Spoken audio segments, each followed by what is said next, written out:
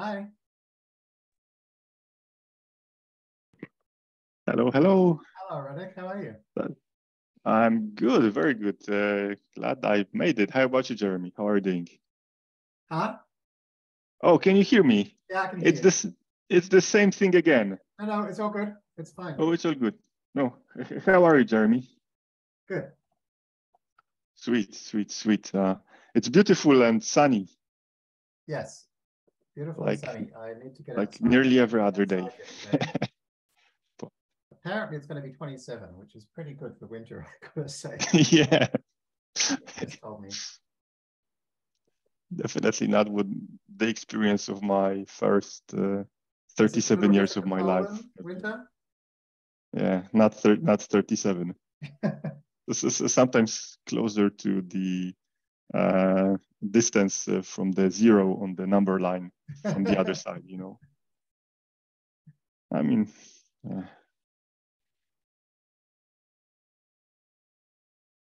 Oh, I'm having trouble getting, I'm just going to get my screen organized and um, I'm uh, not quite used to being on a Mac. There we go.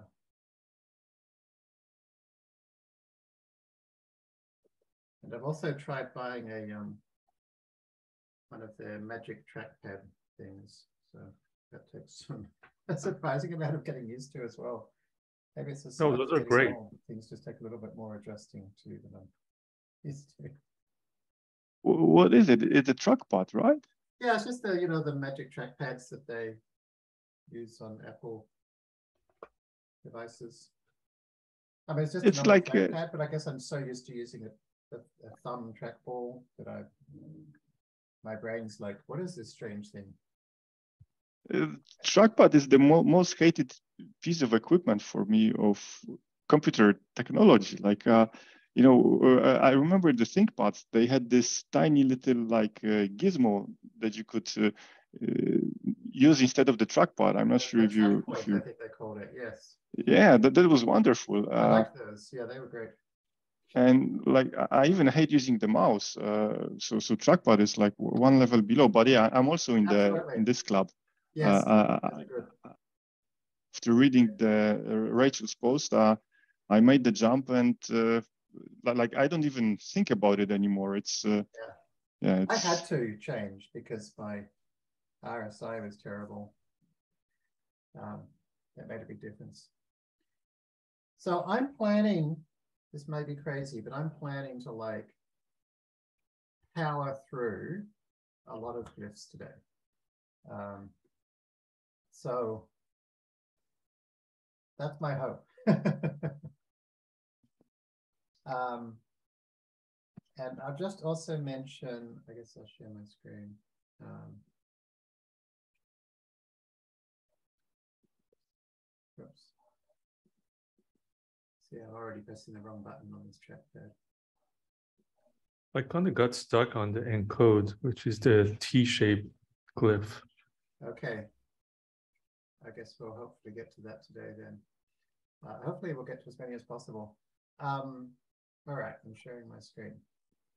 You can see it okay? Yep. Um, just wanted to briefly mention, I, I, s- oh, that's not good. Yeah. Um, I broke everything. How about that?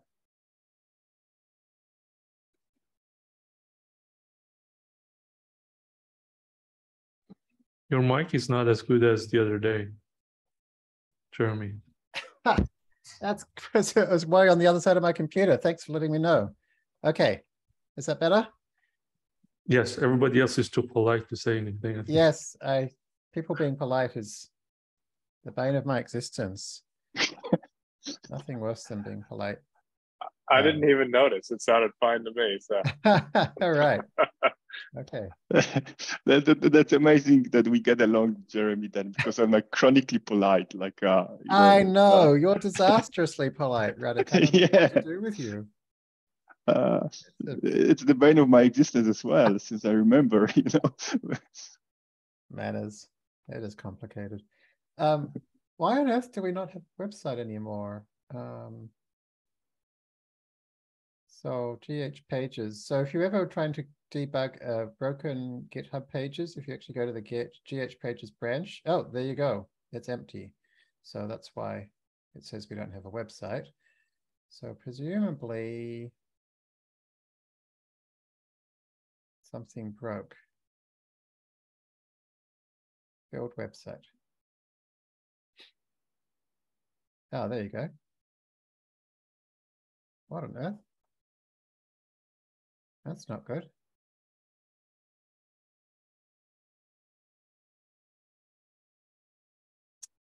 All right, no worries. I will fix that later. You don't have to watch me do that.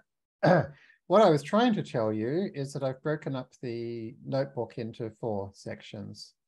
Um, the bit about kind of arrays and numbers and strings, a bit about some basic functions, some basic operators, and then the APL competition stuff, because um, I thought it was getting a little bit unwieldy. Um, now, there is some helpful stuff about glyphs to cover on the forums, which I think, yeah, this is probably a good place. So thank you, Roger S49 for this list. And I think some somebody else, maybe Sarada had one too. Um, and so some of these are pretty easy to get going with. So um, what I might do is just move this one out of the way so I don't get distracted. So some of these are pretty basic functions, so I might just add them over here. Um,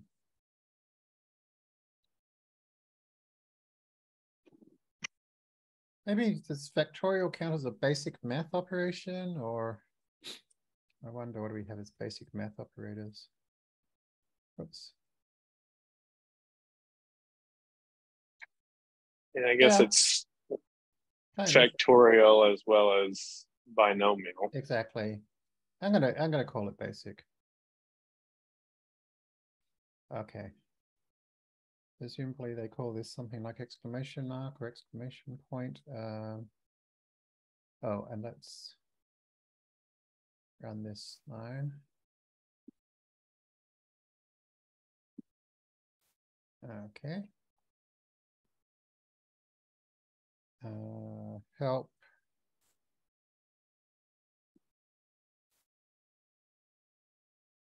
Exclamation mark. Okay. Guess it doesn't really matter if it's exactly perfect, but exclamation mark. Okay. So the Mathematic version is factorial, which probably does anybody not know what factorial is? One thing to be, be aware of is that um, uh, these are always prefix operators. So don't, that's going to be confusing. Um, and I guess in operators, we could then mention that factorial is probably going to be the same as times slash iota, right? So maybe we could use that here. Um, so times, oh, and we need our APL thingy. Okay, times slash iota five.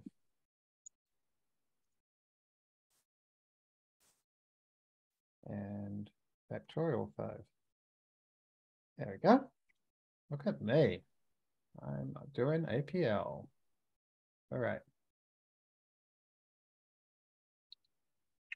Um, I guess we should probably look it up in case they do weird things with negative numbers or something. Oh, here we go, negative numbers. So I guess like a factorial of a non-integer is a gamma function. Is that? Yes. Haha. Great. Look at me remembering math from university. I've never used that since, but I'm sure it comes up for some reason. Um,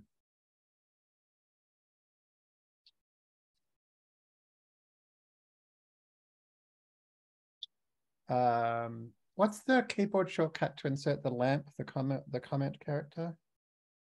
Uh, back to comma, Colin? uh, comma.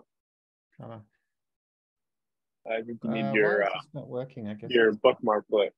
Yeah, I thought it'd be enabled or um, on me, but.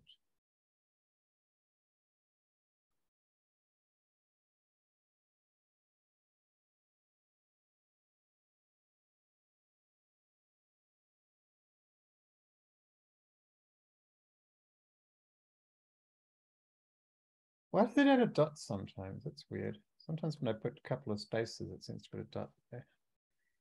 All right.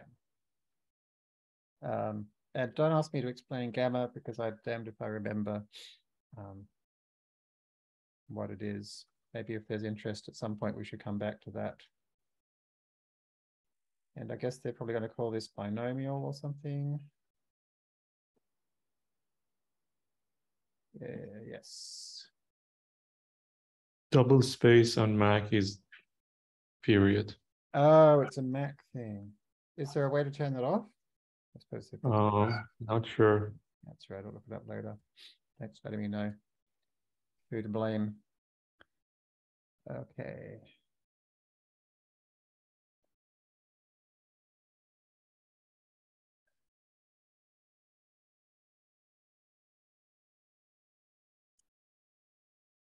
Probably worth mentioning how to define binomial.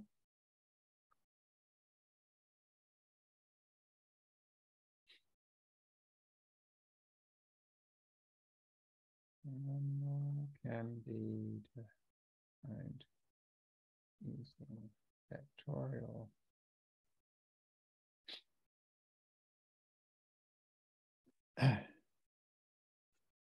So, um,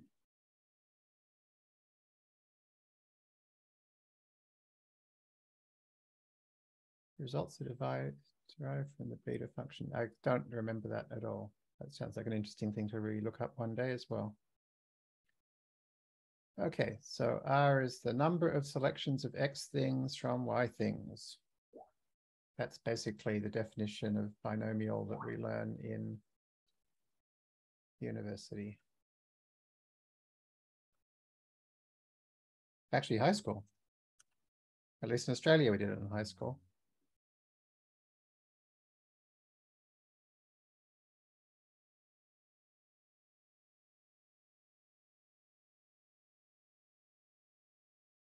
Bit over enthusiastic with the use of non-integer versions. Um, I'd be inclined to do something like, say, iota 5. Um, oh, we haven't done iota yet. No, we have. Three, four. We have done iota. Not, not at this point. Oh, at this point, the we've done document. At this point.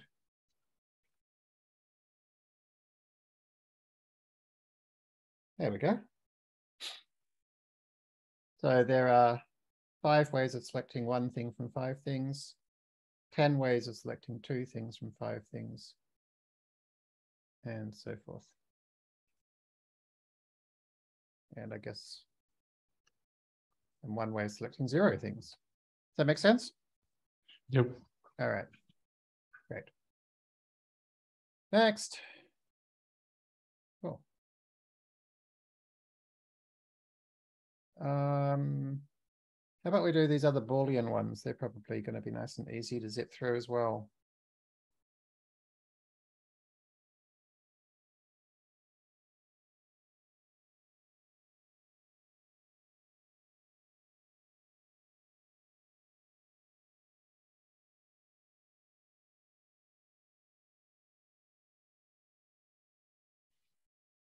Okay.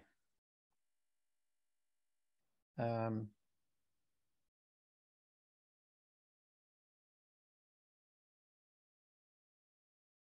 so, Boolean ones, here we are. Let's start here, shall we? Greatest common divisor slash or is nine.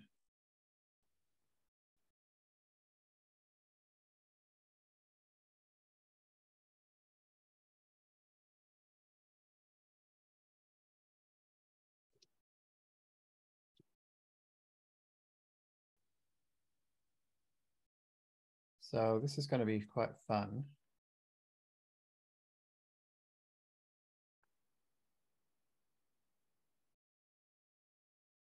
Because I love the way they don't just do or, classic generalization trick,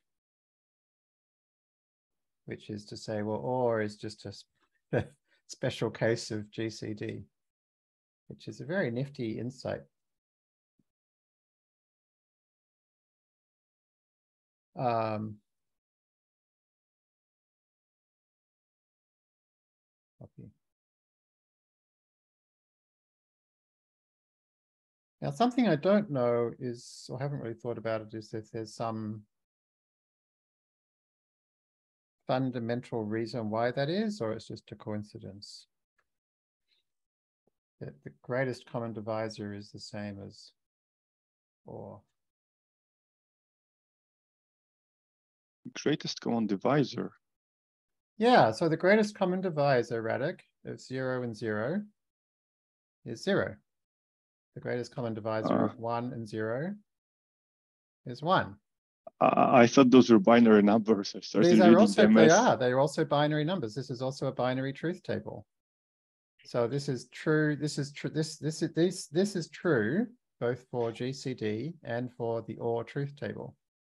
No, no, no. But but so, so the way I'm reading this, and maybe this is wrong, the uh, result is a number that's greater or than any of the two numbers above, right? So, so how can it be the greatest common divisor no, no, of? This is, this is not a number. Space means create a list in APL. Y- yes, yes, yes. But Okay. uh, ah, right. So, so it still operates on a single item, and Correct. it's just that I saw zeros and ones. I thought, oh wow, maybe they're Ah, no, treating no. this as So a binary number. No, that's not happening. Or zero, Got it. Got it. element wise, one or zero. Ah, okay. That's that's interesting. That this is. I mean, that or can be. Uh, yeah, that, that's cool. That's cool. Um, they also have an a similar interesting point about not having a, a XOR exclusive OR, because that's. Uh, yeah, but maybe that will be in a second. Oh, so and then you can also operate on numbers that are not binary numbers that are okay. Got it. Uh, sorry. Sense? Yeah, ma- ma- makes a lot of sense. Absolutely. Um, so I think I think kind of. the uh, the the header um, you have uh, equal underbar slash there. Oh, thank you. We need to update as well. And what is this thing actually called? Um, I think it's just oh, it's greatest common divisor. Let me look it up. And I accidentally started with dyadic. Is there a monadic version of it? I think so. There isn't. No, not defined. No, Wow, yeah, so they've actually got a spare character they can play with. It looks like it's just called logical or, I guess. That's easy. Logical or. Yep. And uh, it's logical and is Is that same next? Thing. that No this one? Yep. Lowest common multiple or and. Okay.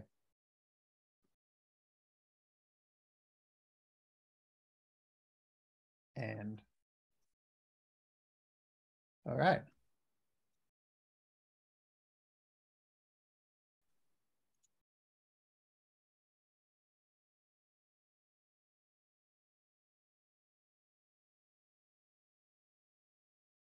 So this is lowest common multiple. Oh, website is up again. Our website is up again. That's what uh, the chat says. That's weird. Uh, Wasim looks like maybe he fixed it. Oh. What a champion. Okay, so yeah, so we've got multiple things here now, as you see.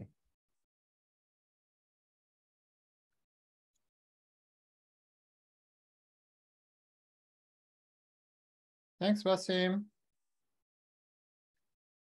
He's meant to be on vacation in Melbourne. Why is he fixing our website?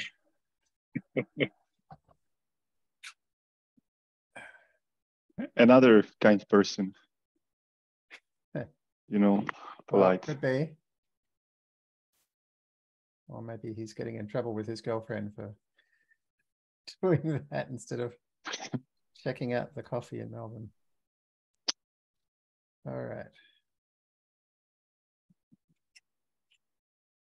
And um, I'm gonna guess it's eight. Nope. All right, I have to look at Uh, zero, I think. Ah, zero. Okay. I've noticed that most of the time, um, the uh, there's something pointing down. The wa- the key to the right of it is going to be pointing up. Oh, That okay. seems to go down and then up a lot of That's times. good to know.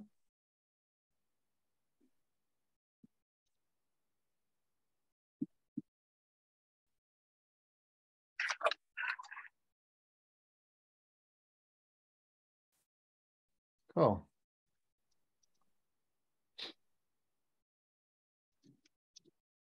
Okay. Next, squiggly versions, the not versions. Okay, makes sense. Ah, and these are now the equivalents with a tilde through them. Of course, that makes sense. And they also are the equivalent shifted versions.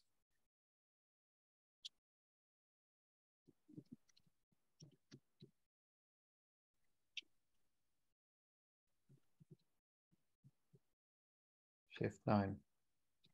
Oh, it's not so pretty in this font. Oh well, when we publish it, it should look pretty. Oh, this is only Nor, is it? Wow, come on. Thought they'd have some weird fancy way.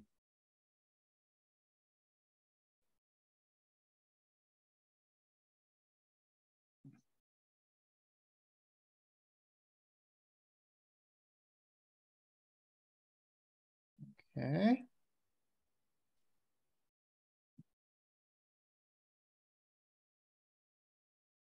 Truth table for Nor. Oops. This one.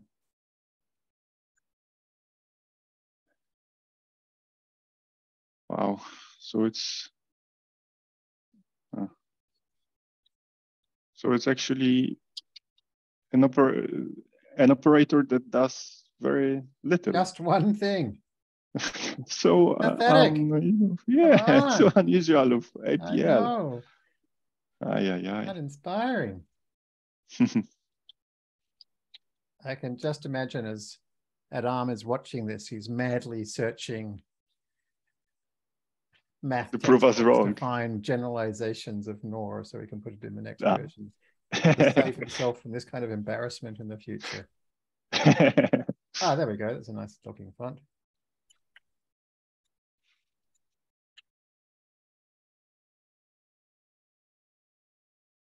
Okay. You don't think NAND is going to be just as disappointing, do you? I think it is. Oh boy. Makes me wonder why we bother. Well, the universe is just helping you get through a lot of symbols. Yeah, well, quite. There is that.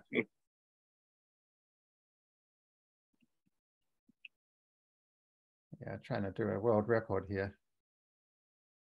Okay. Everybody happy with our those so far? And we've got tilde somewhere. Tilde somewhere. Anybody's, well, I'll just type it. Doesn't matter, I know how to type tilde.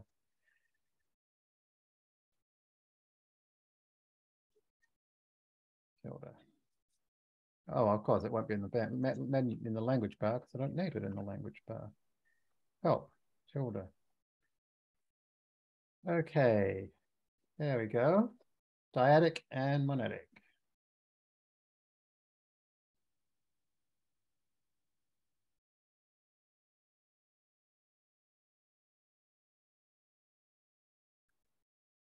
monadic. attic.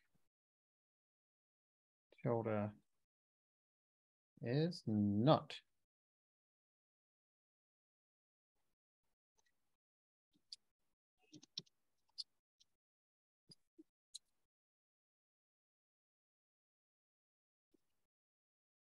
Um, well, presumably there's only two things for that. Yeah, I don't know why they've got four things. Trying to make it look more fancy than it is, I guess. Okay.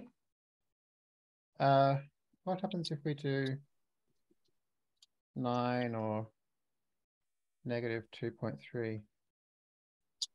Doesn't like it. Well, there you go.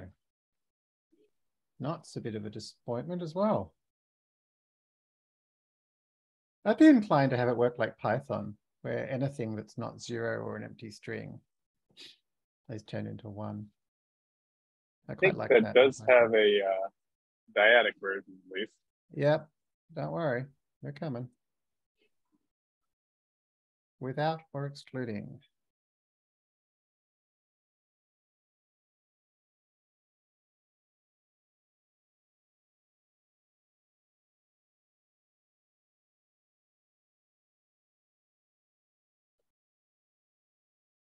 Okay. Three, one, four, one, five without five, one. Looks like it's removing the actual numbers. Makes sense.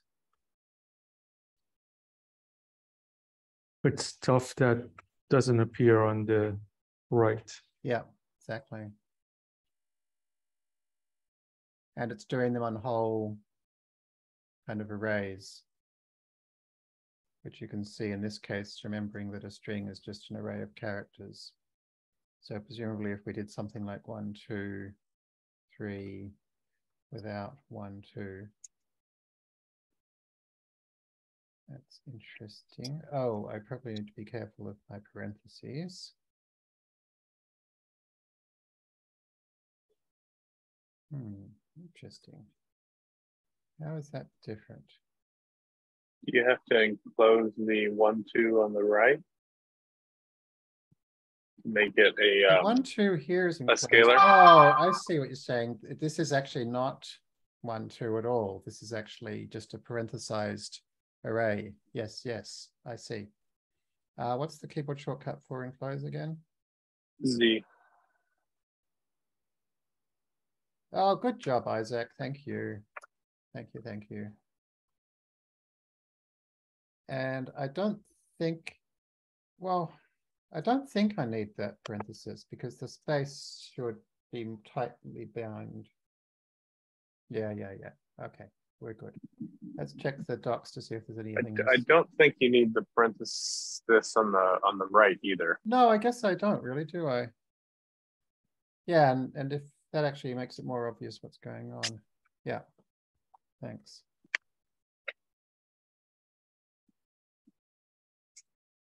Okay, so it's uh, checking for equal underbar. Makes sense.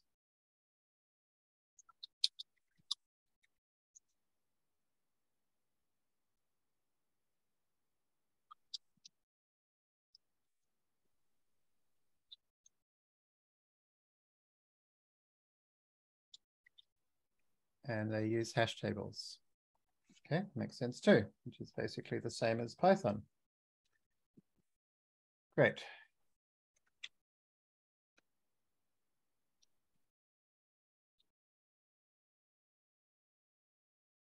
Um, ah, actually, the problem with looking just at symbols is that we miss out on some. And did Sarada put a list, I think, on the main topic? Yes, she did. Okay, she's got all these ones. This is going to be more complete, I think. Um, I guess we're out of Booleans. So maybe we should do this one. Presumably this is something like the other shoe.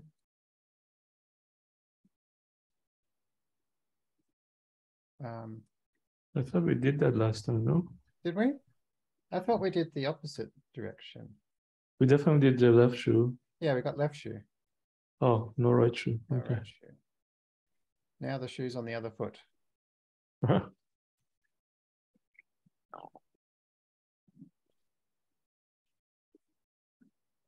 We also got up shoe and down shoe as well. Oh, really? Yeah. Okay. Uh, what's the keyboard shortcut?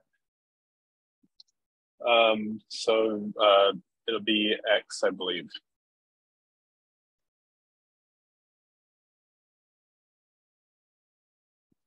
So I'm just pasting it at the moment.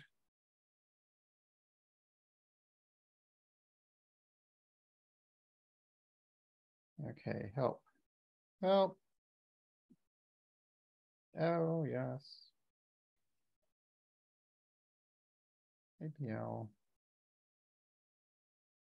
You believe right, Isaac? Okay, we have quad ML1, so this is disclose or first. And dyadic is pick.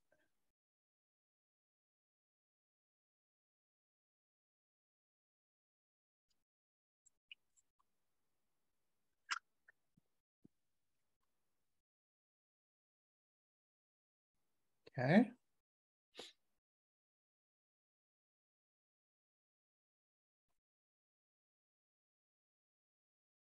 All right, well, these examples are nice and straightforward. It's, oh, well, interestingly though, in the second case, it's also um, like unboxing it or whatever the word they use is, unenclosing it, is it?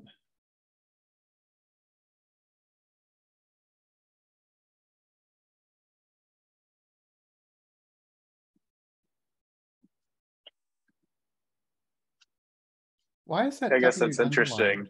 Is that just how it prints them? That's how it prints characters. Yeah.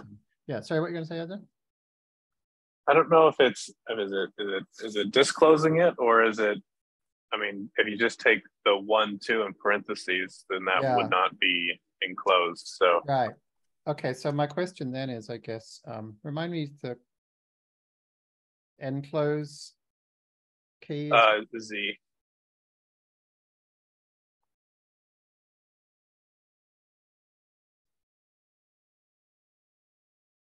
Yeah, it's definitely doing that.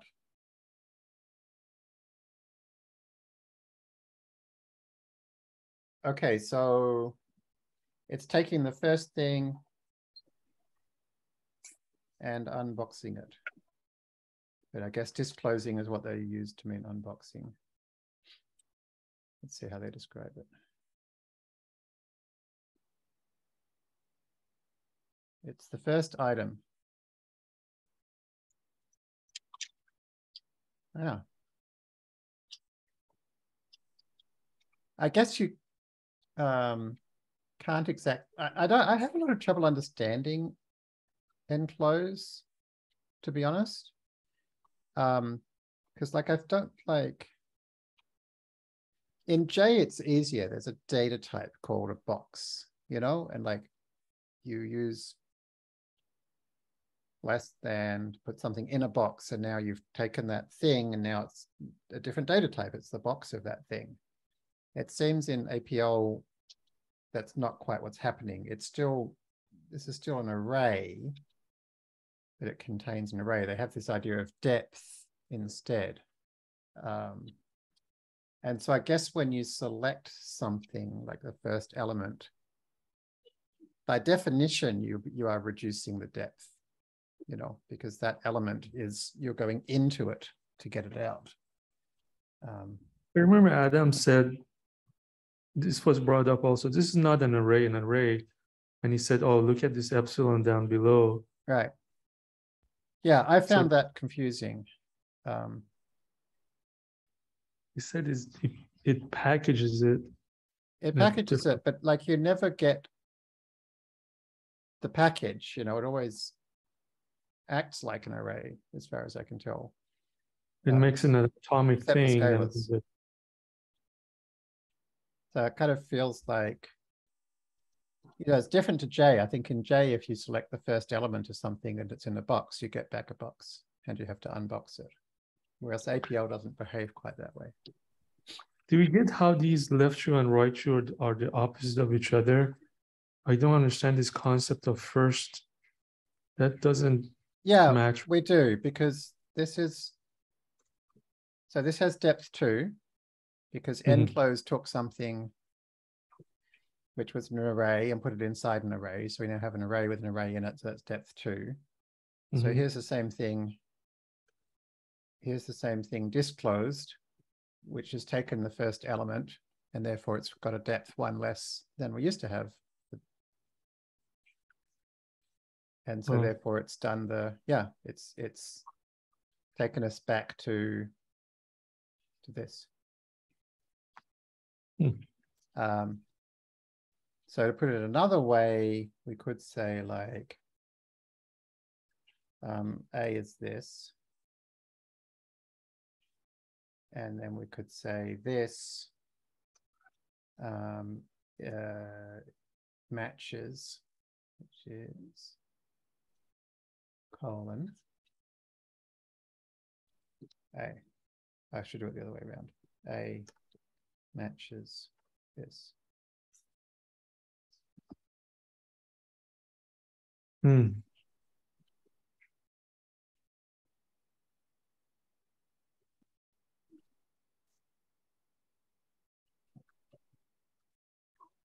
Okay.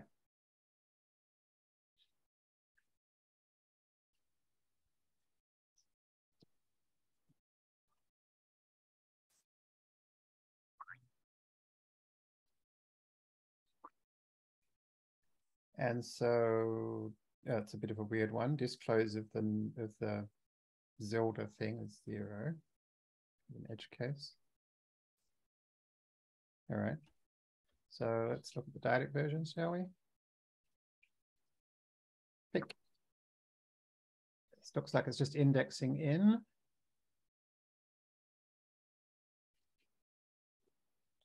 Okay, so if you've got a scalar on the left, it just grabs the third thing or grabs the second thing.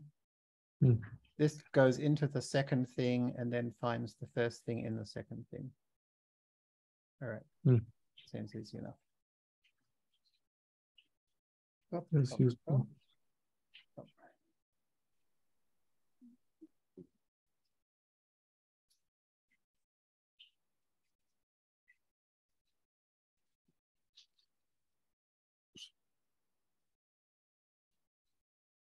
Okay. Well, those seem fine. See if there's anything weird about this to know about. Okay, elements of X selection successively deeper levels. Yep.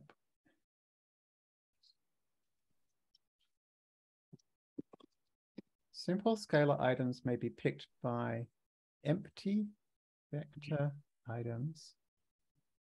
An arbitrary depth. What does that mean? Um,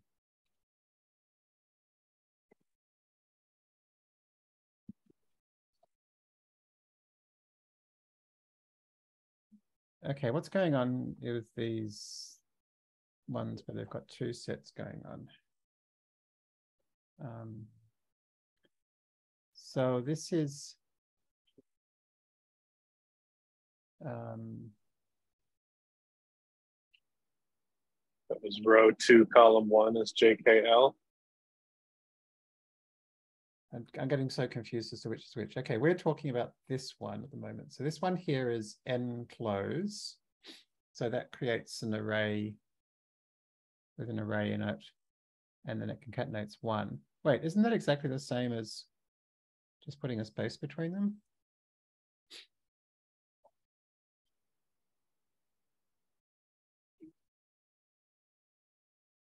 Yeah. Yeah. Why are they confusing us? Okay. Um,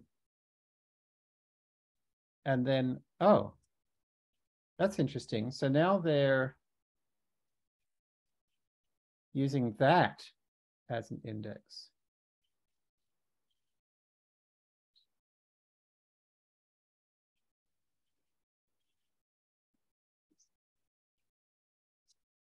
And why are they building up G in such a weird way? Um, all right, let's, I thi- think we are going to need this example because this is something I, I think with the boxing, this would be uh, made pretty clear what's going on. yeah, okay. And not having the boxing there, I think, is making it look a lot harder than than it really should be. Really? Okay.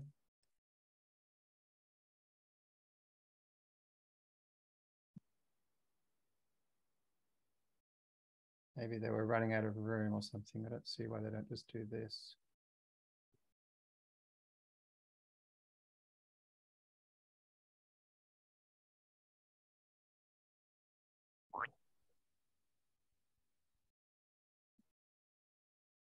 Okay.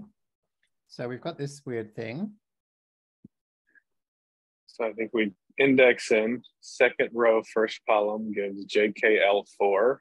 Uh-huh. First element of JKL4 gives you JKL. Okay. So all this.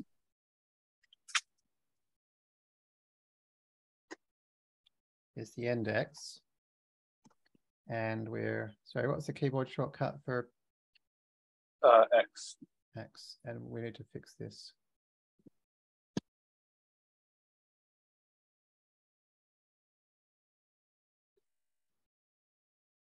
X.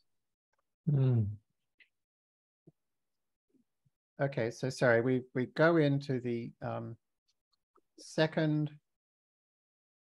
Does this mean go to the second row, first column? I believe so, yeah. And then this is grab the first thing Right. from that. Um, well, we should try that on a matrix to confirm. So um, two rows, three columns of iota six. Okay, so you can't grab a row from a matrix.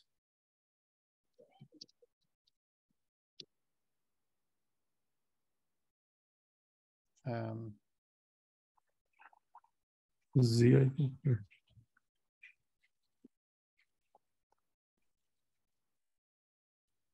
okay, Mhm. so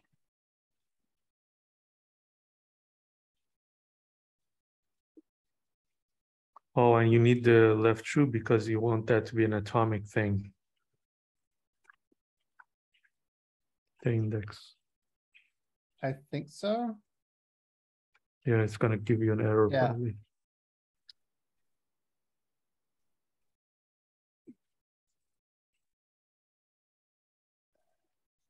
Um, what's the keyboard shortcut for quad? L, I think. Uh, L. Okay, so that's the second row, first column. Um, And if you want the entire row, do you say the entire so second to row? get a row, um, well, we could try doing this, I guess. No.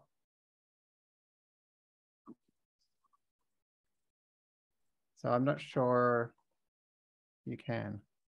We just did it with G, didn't we? No, no, we didn't. No, so the difference is, um, okay, so it looks like you use, um, a plain array to, um, go into an array of arrays. Uh, as in this one. So this is, this is an array of arrays um, to go into a matrix, you need a, a rank one or shape one thing, I guess. Such as we have here. And so here now we've got a shape one thing and then a scalar. So the shape one thing is going to go into the matrix to row two, column one. Mm, And this now contains two items. So this is the first item. Hmm. Okay. So I think that- one way to get the row is to use the up arrow and down arrow. Yeah, exactly. Okay. That's weird. Um, so the items of X are simple integer scalars or vectors. Okay, yeah, so when we enclose them, we're creating a vector. And the vector identifies a set of indices, one per axis at that level of nesting. Okay. So that description makes sense after I know what it means. I'm not sure I could have read it to figure out what it means, but Right. I still don't know what simple scalar items in Y may be picked by empty vector items in X. An empty vector. How do you even create an empty vector? Um, is that iota zero? No, I don't know. I might leave that one for now because it's not going to help zip through it. Something to, maybe somebody can try to figure that out. Okay, that was annoyingly long for our hope, but such is life. Um, should we do the up tack and down tack if that's what they're called? Yes.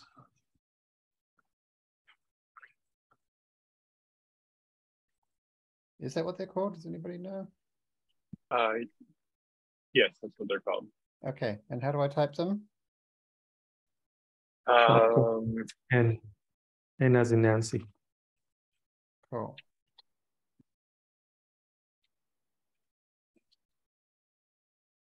so the the one with the pointing upward is B, and then N is kind of goes down to up again.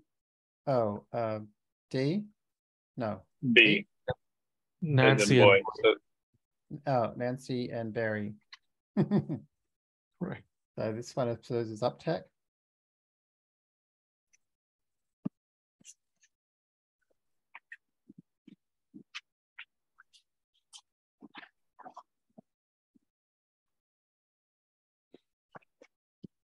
Okay.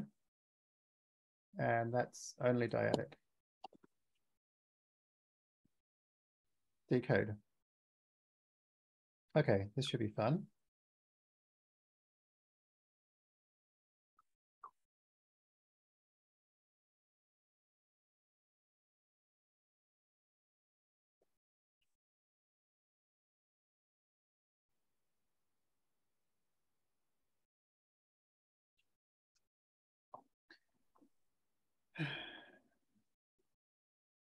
This is very confusing.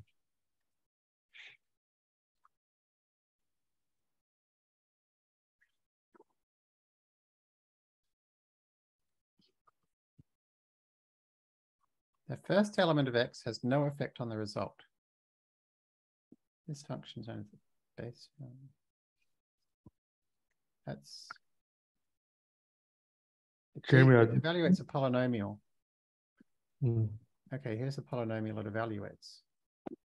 So we start with y1. Okay, this is y1 times x to the n minus 1 times 2 to the 0. So 2 plus 4 plus, oh, sorry, uh, n minus 1. x, x is on the left. Oh, sorry. And that's 0, I guess. Yeah, that's 0. Oh, okay, so it's 1 times 1 plus 1 times 2 plus 0 plus 1 times, right. It's the usual formula that we use to convert binary to decimal. yeah, I understand. I'm just trying to see how it maps to that. Oh, oh, Yeah. Okay, so this is a binary, this is the binary number one, one, zero, one. Because we're doing it base two. mm, Okay. So then um, what about base 10? Um, Yep, makes sense. What's You're, you're telling it what is one, one, zero, one in decode? base ten. Okay, so that's one times ten to the zero plus one times ten to the one, blah, blah, blah. So we should be able to do three, four, one, six. And that Yep. should just be that number, right? Yep, Cool. All right. Um, when you've got an array on the left.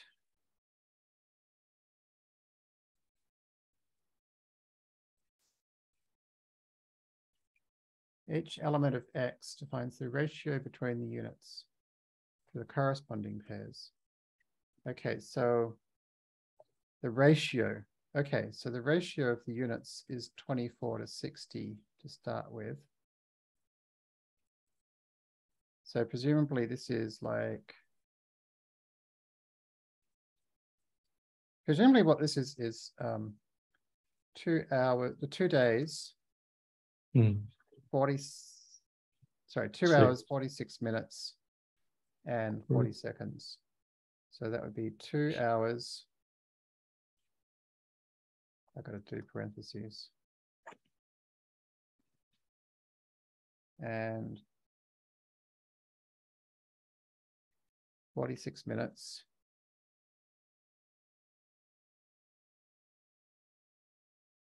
And 40 seconds. Okay. Uh, why? So.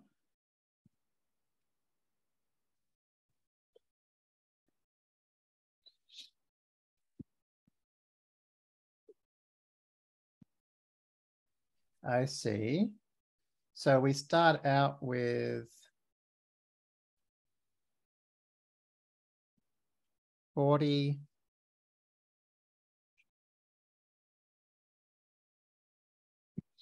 And so this unit's considered one.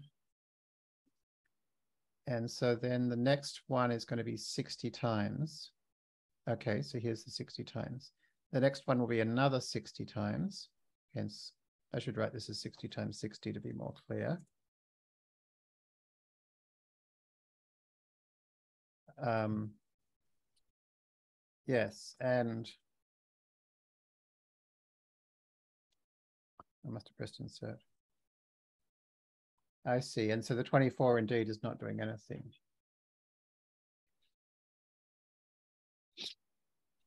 Okay. That's fun. hmm,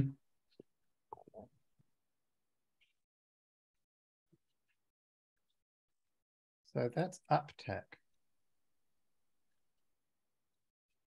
Higher rank array arguments. Whoa. Okay. Each of the vectors taken as the radix vector for each of the vectors on the first axis. First axis is the rows. Jeremy, Yeah. before you move on, um, do you mind to, uh, the last example or the polynomial evaluation is a, that is a complex number. Do you want to put that in it as well? Oh, you're right. Sure.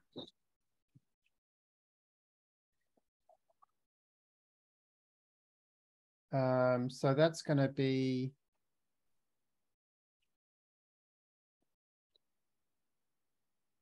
um,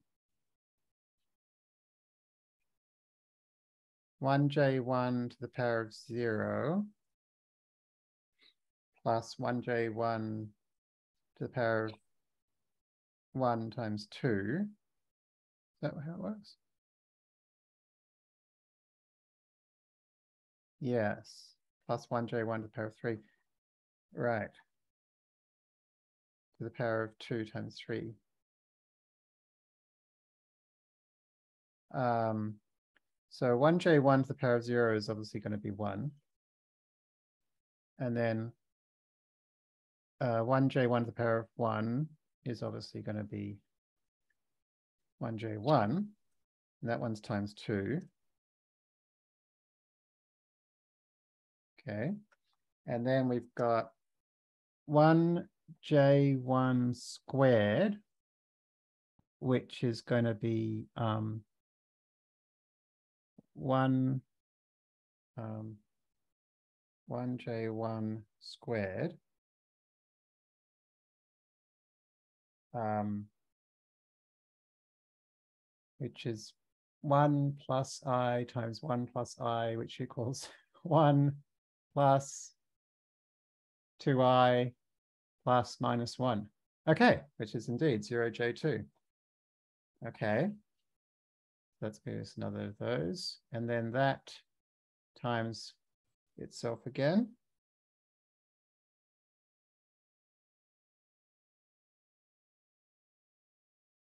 Um, Yes, correct. It's easier to see it in the polar coordinate why is that? Oh, because because forty-five degrees and ninety degrees, then uh. you know, Oh, okay, sorry, I'm not much of a complex numbers person, so, right, so one J one is the one comma one on the Cartesian plane, is that what you're saying? Right, one J one angle phase is forty-five degrees, And when you do Fine. times, is that the same as multiplying it by that angle? right? Power goes, translates to multiplying by phase. And also magnitude gets uh, to that power. Okay, I, maybe you can find some link or something that explains that for dummies like me and put it in the forum or something for this lesson, because I never learnt any of that when I was studying philosophy at university, I'm afraid. Um, okay. Um, so this one is four by one, two, three, four, five, six, seven, eight. And here's the eight. Um,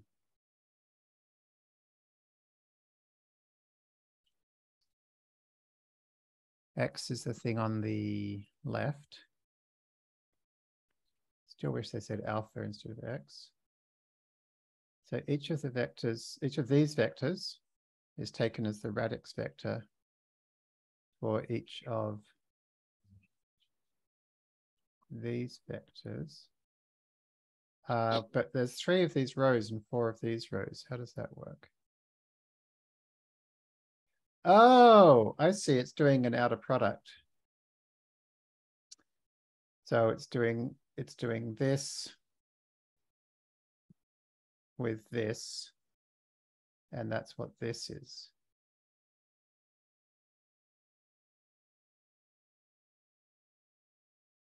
Um, is that right?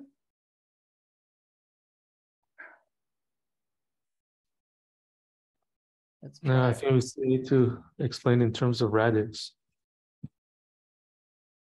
I don't know what a radix vector is. It's like the base? Um, like. Thirteen in radix two is one, one, zero, one, just like above. Um, so. No, okay, that's, I'm wrong about how these are combined.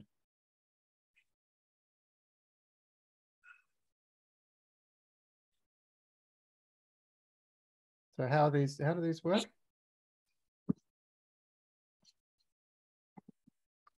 I don't get it either.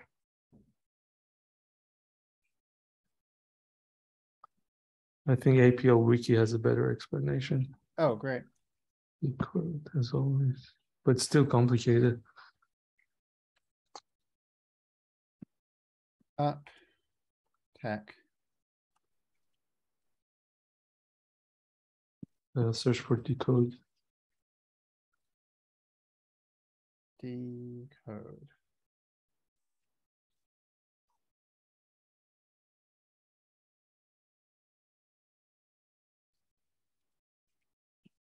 So examples, the third paragraph. Under examples, the third paragraph, one, two, three, yep. Okay, so we've got these ones. Okay, this is the polynomial. Okay. Okay, we've done this one.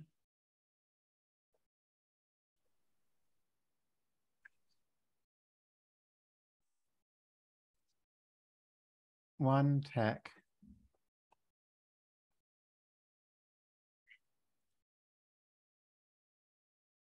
One tack is um oh okay so that's um forgetting how this works. X is on the left. And then we multiply it by, Oh, that that is the sum, right? One, two, power of anything is one, so it Uh-huh. becomes this. right? one power of anything is one. Yep. Um, so we end up with three times one plus one times one plus four times one, etc. That makes sense. It gets tricky when the left-hand side is an array. Yes. Okay. So then um, doing it Mm. here with a matrix is um,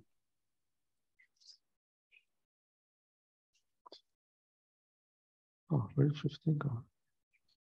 Just sum the column. yeah, but why? Like, Why? what's it doing? Is it doing it to each? Like, yeah, I guess that's my question. Why? Why?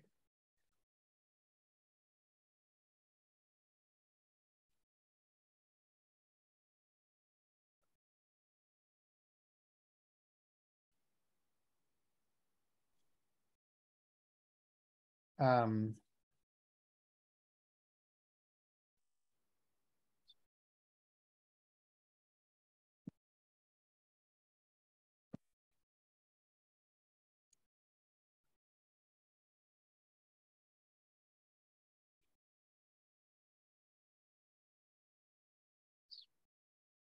Oh, if the left argument is a scalar, it's converted to a vector filled with that number.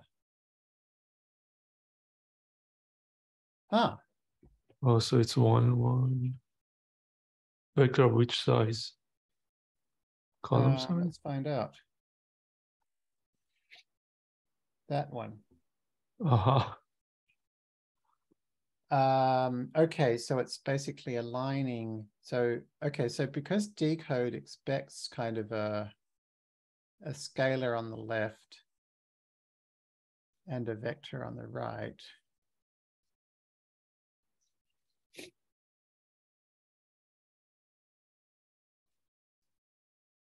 Not quite true. Um,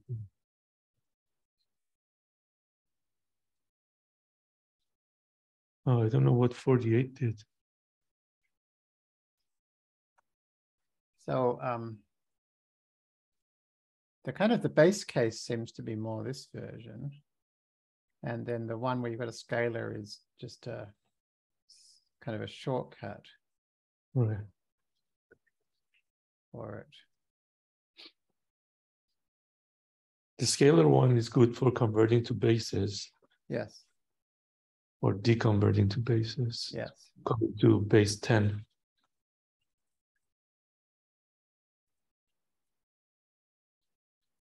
Thirty-one is useful come to for converting to days and minutes and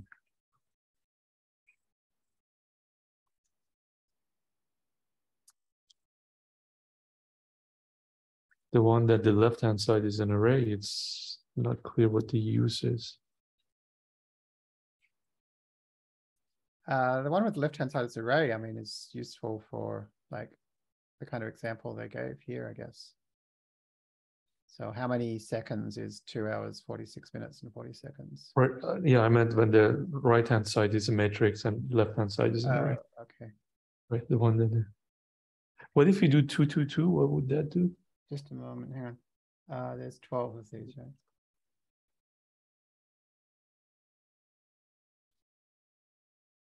Okay, so it doesn't like that.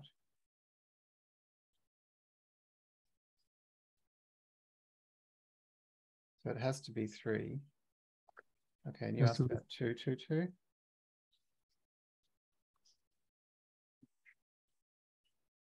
Uh, Is that, no. Oh. Yeah, twenty-three is one plus. Uh, five times. Two to an, to the power of two. No, to the power of one plus nine times four. Is it? No, it's not.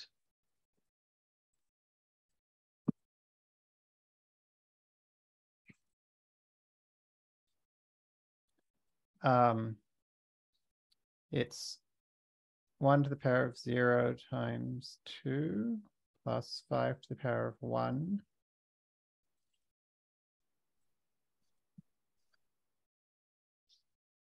Yeah, but that's not it. It doesn't even say what it does in that case, does it? Um, the first one is ignored. Then, oh, it uses the ratio of them. Um, so hmm. With was ratio two to two should have been similar but to that's a one. one, ratio one. of one, so it doesn't really do anything. Um.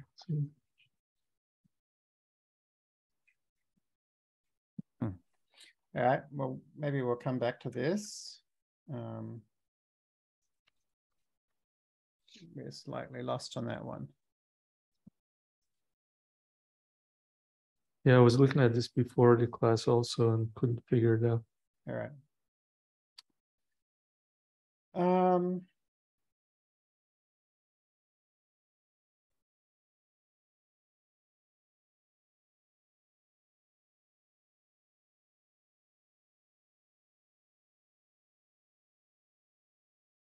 Yeah, it's something going on interesting here as well.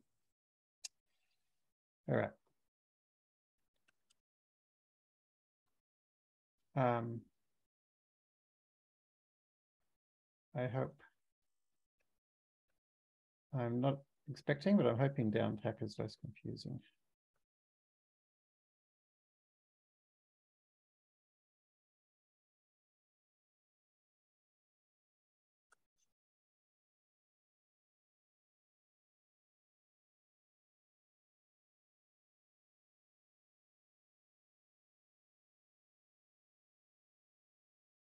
Oh, and what was this called? Uh, decode.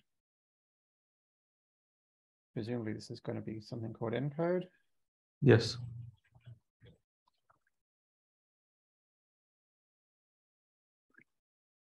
All right.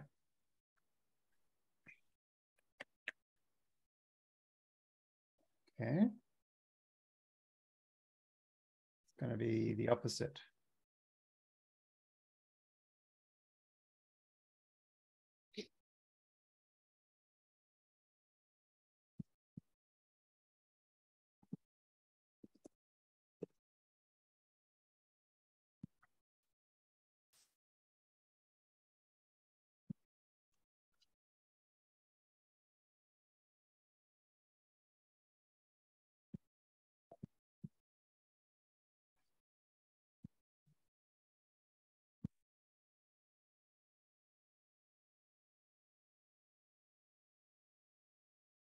Um,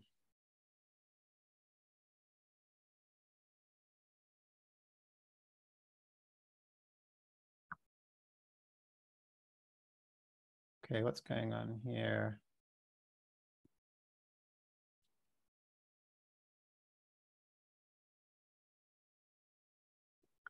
Mm. That's a hard one to start with. Uh,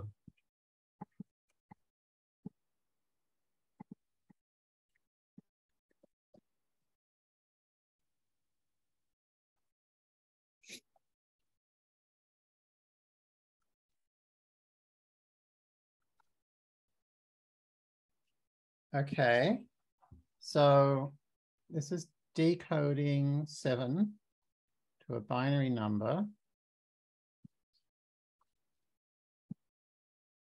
of length according to whatever's on the left.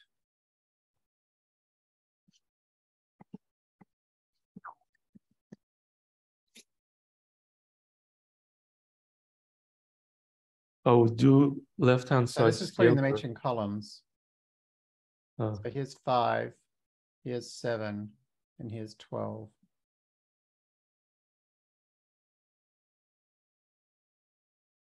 That's right. Okay.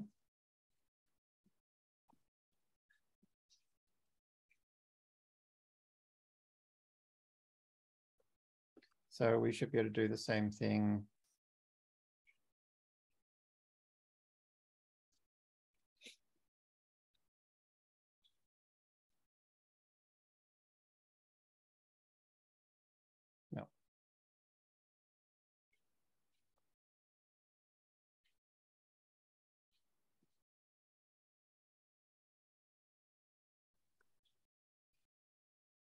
Oh, Yep.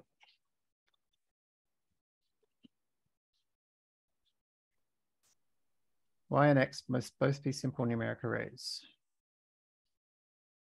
It's the representation of Y in the number system defined by X.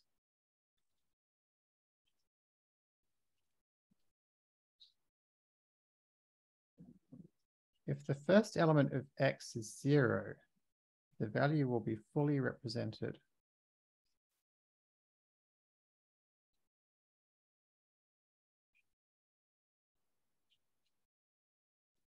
So you're getting the digits of the right-hand side and the bases specified by the left-hand side one by one. Oh, there you go. That's the difference. So if the first element's zero, then it's going to make this as big as it has to be to get the whole number here. If it's not zero, then it truncates it.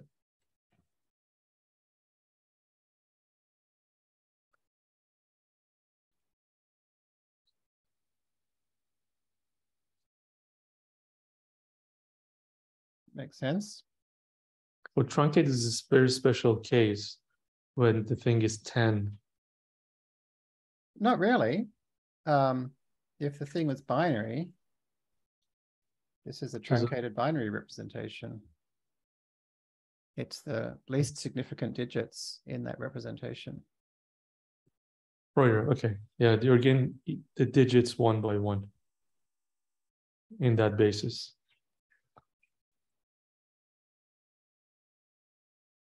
This is how you get the least significant digits. Okay. I see what you mean by truncated now. Um, okay.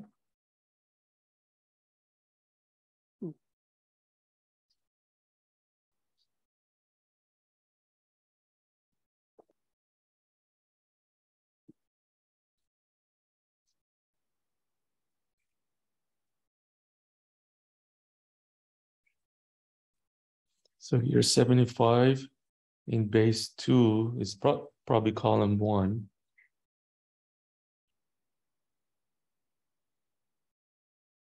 I don't understand column two.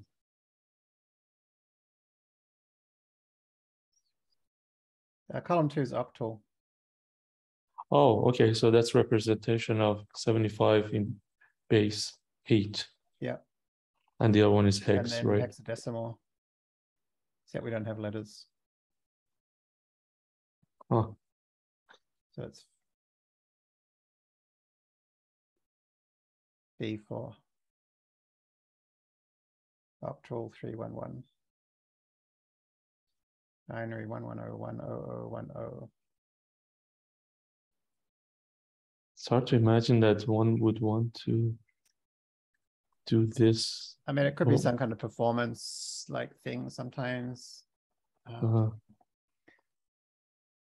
where you need, yeah, multiple representations at once. But Hmm. I don't think we need it for a quick, like, what are these glyphs? Yeah. No. All right. makes sense. Wait, we've done these. Yeah, we've done those. The booleans. We've done that. All right, so let's do, Up and down shoe might be easier ones to work on. where are to- they? Up and down shoe. Oh, these ones here? Yeah. Do they make sense to go with left shoe and right shoe, Isaac? Oh, not really. It's unique intersection and union. What they are. Oh, okay. All right, let's create a So they don't new, really match um, with those.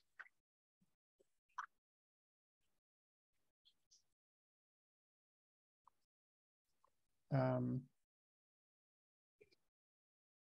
duplicate.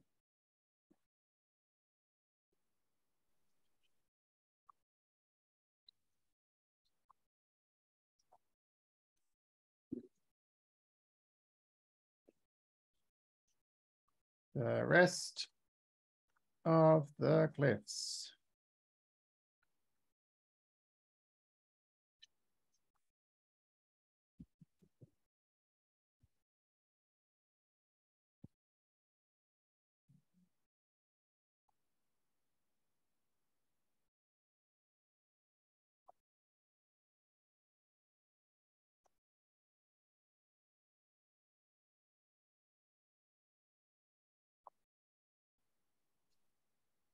The rest. Uh, I guess we could give it a number. Rename. Oh, five.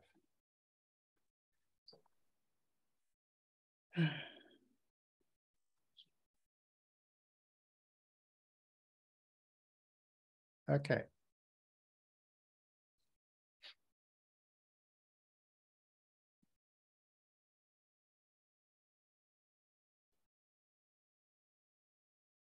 All right, how do I write these?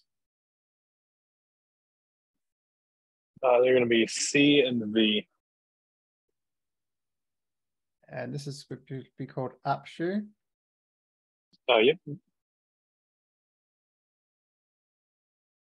And what are the names of the things they do? Uh, up shoe is just um, intersection. It's just dyadic. It's only dyadic? Boring.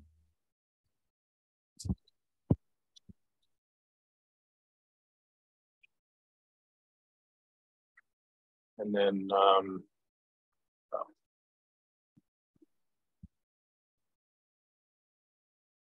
It's- It's called set intersection more precisely. Oh, I see. Dyadic set intersection means intersection. Yeah, weird. Um, yeah, sorry, you're saying? Okay, this one's V, right? um, that one, uh, the monadic is unique. And uh, dyadic is union. Monadic.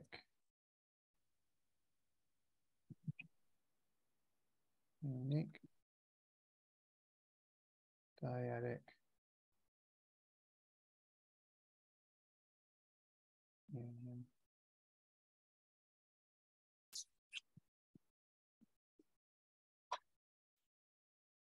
Okay. That looks straightforward enough.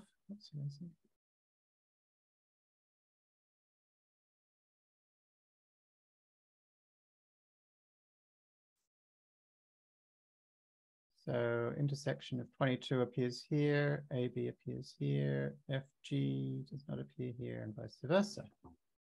Okay, this is similar to something we saw before, right? Um, The tilde, I think. Um, but it would be, have to use the tilde going both directions. You'd have to use Yeah. it twice, I think, to get the intersection. yeah. Right. Can we try to do that then? Um,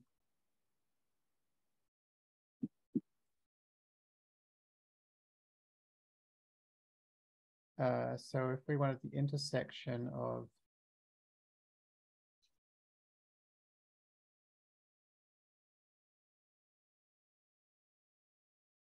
Um,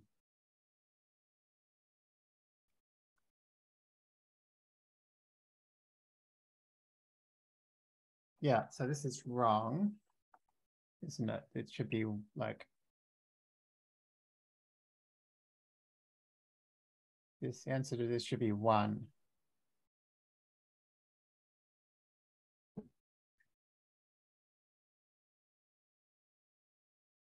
So in Venn diagram, tilde is stuff that is outside the difference. Yeah. Yeah. So it's um it's the set minus this and minus this. Okay. Yeah, Um, union of those two. Yes, exactly. Okay. Um, great. Anything weird about this? These actually match the math notations for once. Yes.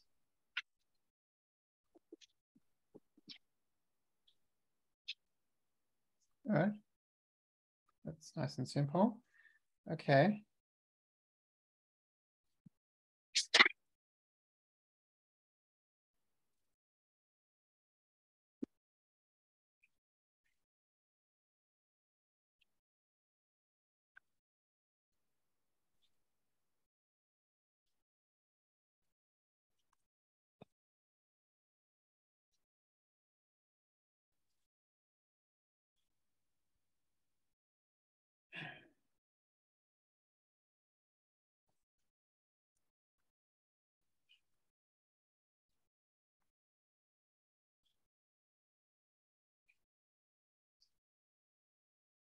So the dyadic version seems pretty simple.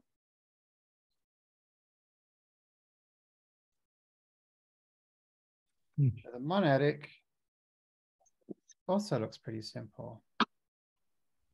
And we've learnt a way to do this before. Um, Using not equal yes, exact. and re- re- reduce. Um, Was it slash not equal? uh, yes, that sounds right. Um, I mean, Not equal. It's like a four or a six or something. Unique. Was it that one or the one with the three things? That one?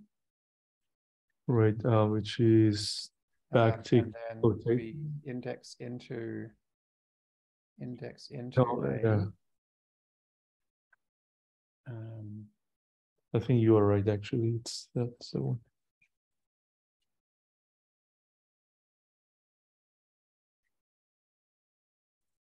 um, Yes.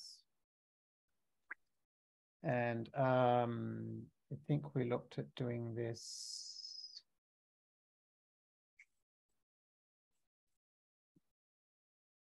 Um,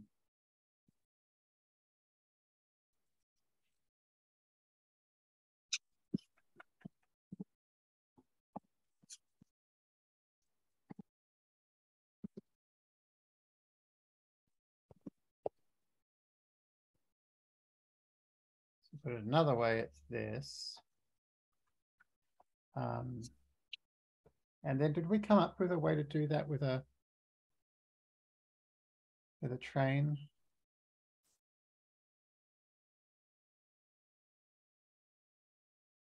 You should be able to whenever A is on both sides. Yeah.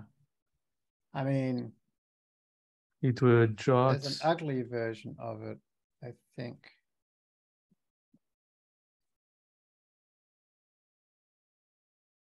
No. Why is that wrong? I thought this means put it on both sides. That does, but uh, the the tilde in between shouldn't that be a jot? This one? Uh huh. Oh, there does have to be a jot there. Yes, I think so. Looks familiar. But um, yes, yes. Uh, what is jot? How do you type? J. J. There we go.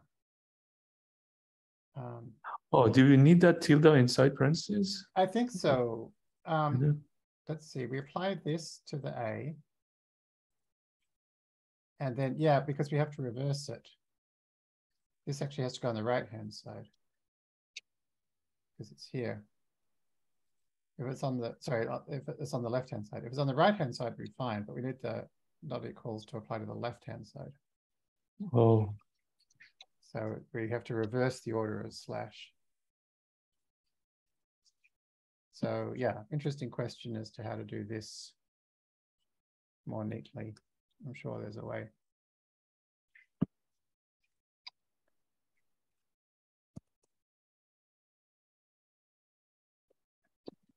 Okay.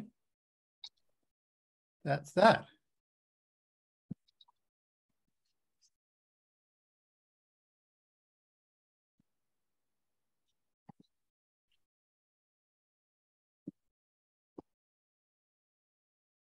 Um, okay.